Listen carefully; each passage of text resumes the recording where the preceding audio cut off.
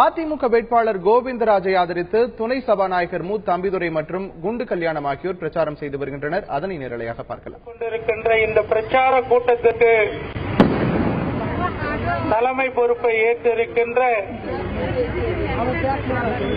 கழகத்தினுடைய கொள்கை பரப்பு செயலாளரும் மாண்புமிகு அம்மா அவர்களுடைய போர்படை தளபதியும் நாடாளுமன்ற துணை சபாநாயகரும் எங்களுடைய வழிகாட்டியுமாக இருக்கின்ற எங்களுடைய அன்பு அண்ணன் தம்பித்துறை அண்ணன் அவர்களே